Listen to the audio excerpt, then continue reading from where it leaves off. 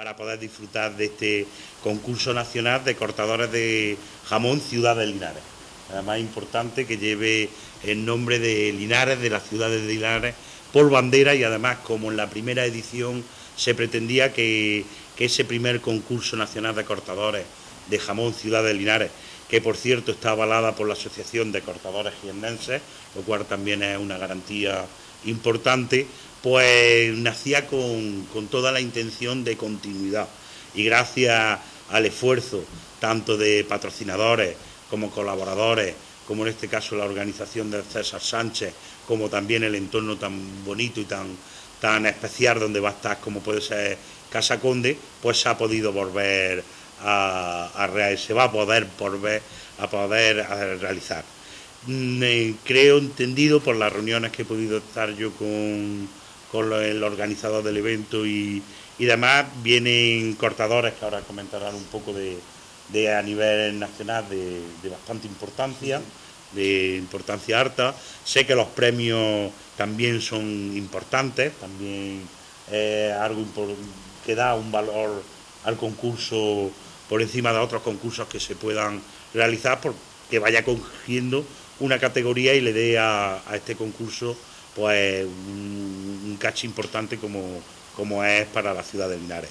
Desde decir siempre nosotros decimos lo mismo y es que gracias a estos eventos hacemos ciudad, gracias a estos concursos eh, estamos consiguiendo que no solamente disfrute los vecinos, la ciudadanía de Linares, disfruten de una buena gastronomía también, vayamos cogiendo cada día más nombre en el, en el capítulo de, gastronomía, de tapas, etcétera, etcétera, sino que también ah, conseguimos atraer foráneos.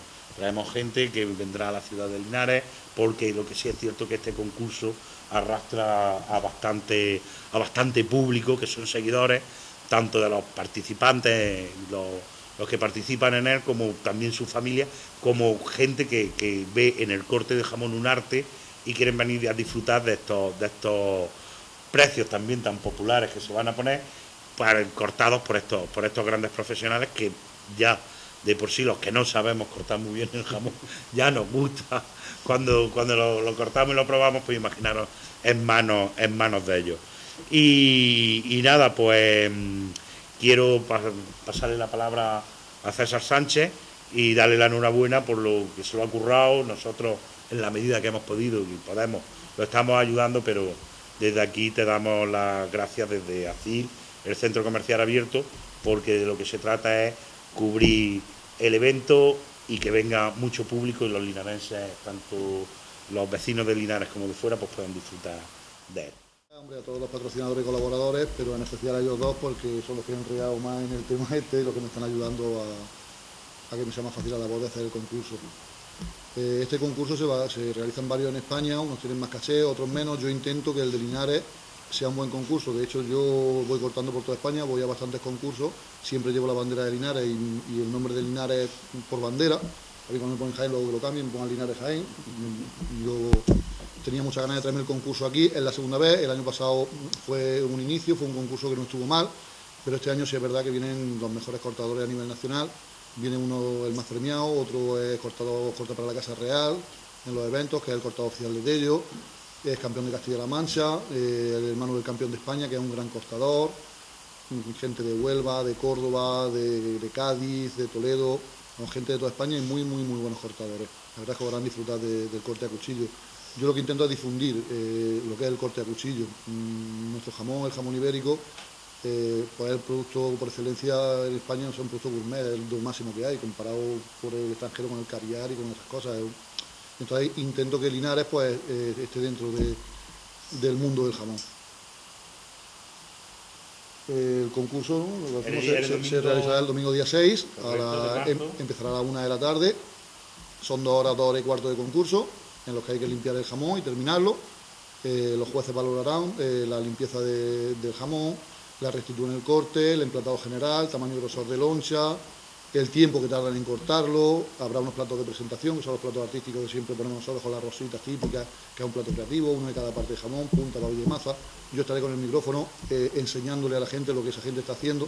Se le promueve esto un poco más por cultura que por otra cosa. Eh, y bueno, espero que estéis todos presentes y, nada. nueve participantes, son concursantes, de los nueve siempre hay dos que son nuevos, metemos gente nueva para que inicien, porque si no nunca inician, pero los otros siete sí son de los mejorcitos que hay ahora mismo a nivel nacional.